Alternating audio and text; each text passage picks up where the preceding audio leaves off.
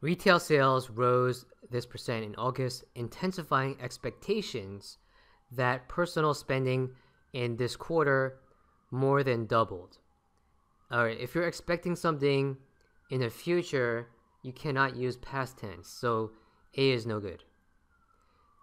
Inten intensifying expectations that personal spending in this quarter would more than double. That's what we want, so B is probably the answer. In C, D, and E, intensifying expectations of personal spending. That's a little bit awkward in this phrasing, and since we already have something that's really good, we'll stick to B as the final answer. Now, what's going on here in terms of concepts? Well, you have the word expectations, right? So we have expectations, and then we also have intensifying expectations. So we, we know there's something that's intensifying and you're expecting something in the future. Now, if it's hypothetical in the, in the future, you have to use would, right? Because you don't know if or if it happens or not. And this is the conditional future. And that's the only one that, that works in this case. You cannot say intensifying expectations that something doubled. That doesn't make sense because you're mixing tenses here.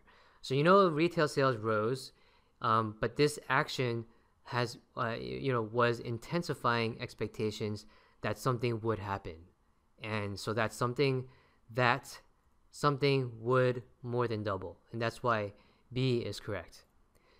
So as a recap, we saw a comma here, and intensifying expectations. This is not a descriptive phrase. This is actually an ing verb. It's used as an action. So this this um, you know this result or this data point um, was intensifying expectations. And what kind of expectations? The kind that you know well it's an expectation that something would happen right so this phrasing the expectation that something would happen. You cannot say the expectation that something happened. It has to be would happen. So that's why answer choice B is correct.